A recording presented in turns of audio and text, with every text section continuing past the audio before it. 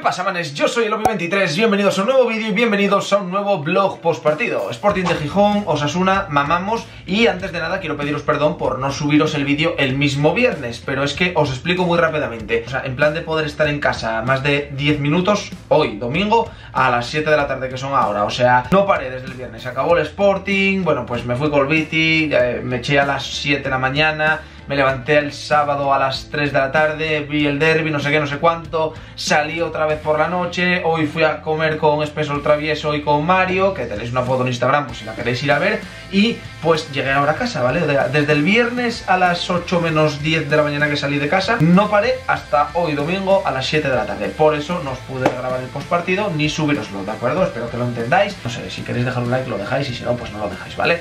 En cualquier caso, ¿qué queréis que os diga del Sporting Osasuna? Osasuna nos pasó literalmente por encima. Pasó una cosa también que, bueno, puede ser que haya condicionado algo el partido, como pudo ser la lesión de, de Pay Burns, el cambio de formación después a una especie de 3-5-2. Pero bueno, en cualquier caso, el Sporting se vio, o sea, superado en todas las líneas. Sporting no pudo hacer nada contra Osasuna el Sporting no fue capaz a jugarle a los Asuna. Por eso los Asuna está donde está y por eso el Sporting pues está donde está. No hay más. Por ejemplo, tema balón parado. Toda la semana se iba hablando, nada, que no va a estar Carmona, a ver quién saca los corners y las faltas. Da igual, o sea, ya veo hasta bien que saque el balón parado Carmona. ¿Sabes lo que te digo? Porque los que sacaron el balón parado el viernes pues no mejoraron lo que había. No entiendo qué problema, no sé si tenemos un handicap en contra con el balón parado, que no hay nadie que sepa pegar un corner o una falta o que hagan algo.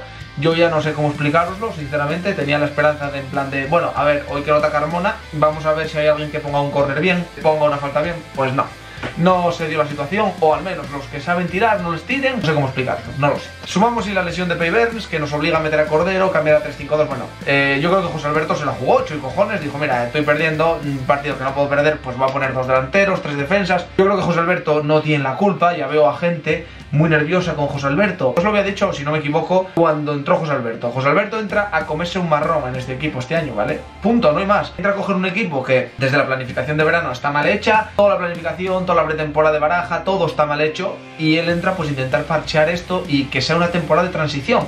Sé que, claro, cuando ganamos un partido empiezas a ver el playoff cerca y dices, buf, buf, el playoff, entramos en playoff, nos metemos ahí, no sé qué, no sé cuánto. Sí, claro, todos nos queremos motivar con eso porque todos queremos ver al Sporting arriba, pero la realidad de este equipo es hacer 50 puntos y salvarnos. Y después de ahí ya, pues ver, veremos lo que pasa, ¿vale? Es que es lo que hay, no hay más. Una temporada tirada a la papelera, como tres tantes que se tiraron en estos últimos 20 y pico años, es lo que hay pues dentro de lo malo vamos a procurar no bajar. José Alberto el año que viene pueda hacer un equipo como él quiera, ¿vale? Que él diga, quiero a estos, no quiero a estos, necesito esto, necesito esto otro, quiero subir a este del B, no quiero que siga este. En cuanto al partido de Osasuna, es que no, sé qué más deciros, o sea, el segundo gol todavía no lo vi repetido, quiero más no verlo repetido porque creo que ese balón pasa por delante de 5 del Sporting y no hay nadie que lo corte, ¿vale? No sé qué cojones pasó ahí. Y el primer gol, pues... Mm, ¿Qué te digo del primer gol? Pero es que no es solo eso, o sea, son todas las sensaciones del partido, son todo cómo se fue dando, no había transición, pese a tener tres mediocentros no teníamos la pelota, por ejemplo Ibi, que debutó, se ve que está súper fuera de forma, al minuto 15 o 20 ya no, ya no tenía velocidad, ya estaba quemadísimo, claro, ya las prisas, ¿no? Fichamos a alguien y joder, es que este tío es buenísimo, no sé qué, jugó para adentro, claro, y fuera de forma, completamente.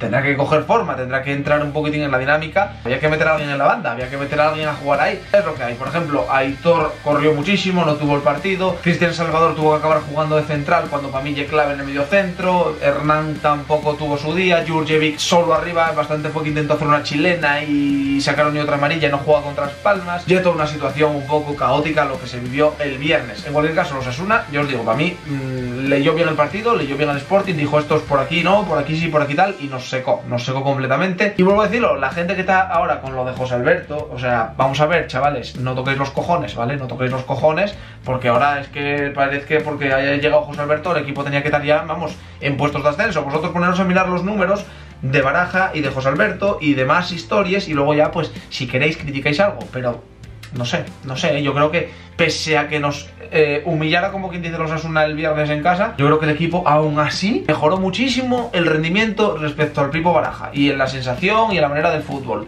Ahora bien, si vosotros ahora ya queréis echar a José Alberto y traer, no sé, creo que está Mourinho libre, podemos decir que traigan a Mourinho, ¿sabes lo que te digo? Si lo que queréis, no sé, no sé qué queréis, que no sé qué quiere la gente, que, que, que pitaba eso, es que no lo entiendo, es que no lo puto entiendo. Pero bueno, nada, es que no sé qué más contaros, chicos, de verdad. Del partido poco más os puedo analizar. No tuvimos ninguna ocasión así clara, no tuvimos ninguna variante, no se pudo hacer mucho más. Vamos a Las Palmas a ver ahora qué, pasa sin Jurjevic. Supongo que jugará Alegría, a si tiene un buen partido y tal. Por ejemplo, Alegría lo vi bastante activo, lo vi con ganas de hacer cosas. A ver qué tal si da el partido de Las Palmas. Y, y nada, a seguir intentando eso, 50 puntinos y año nuevo, ¿sabes lo que te digo?